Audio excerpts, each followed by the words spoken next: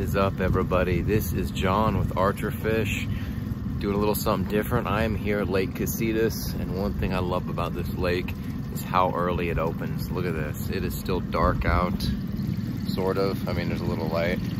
Camera makes it look like it's very bright, but it's not. It's, it's actually pretty dark. So, uh, yeah, I just been in a mood to catch some big bass and Casitas is one of the best places for it. The average bass here is like three pounds, no exaggeration. And uh, striper bite isn't quite going on at Castaic.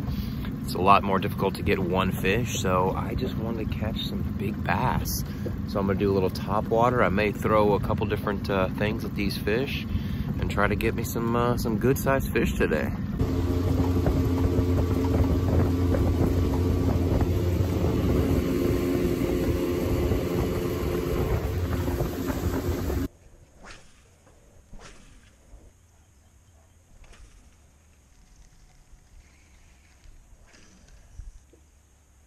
All right, so Casitas is a tricky lake. It's uh, it's easy to catch fish during the spawn, but it could be a little tough the rest of the year.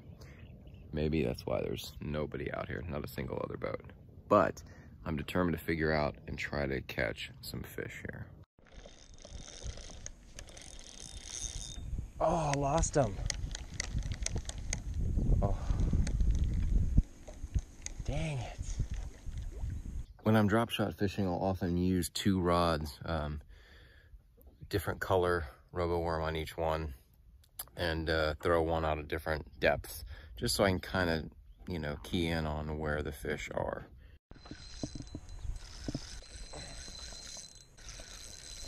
Little guy, I think, coming up. Lost him again. Jesus Christ.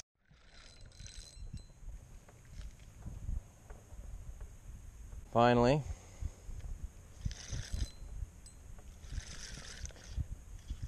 Think I got light line on here, I'm not too sure. I don't want to horse him too much.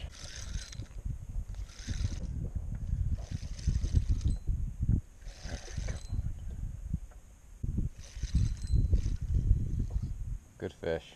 Holy crap. Yep, just saw the boat I think I've got light line on here. Oh, beast. Oh, look at that. What a beauty. All right, first fish of the day, and it is a beauty. Probably about a good, maybe three and a half pounds. Maybe I'll take a weight. Three seven, so just about three and a half. Beautiful fish.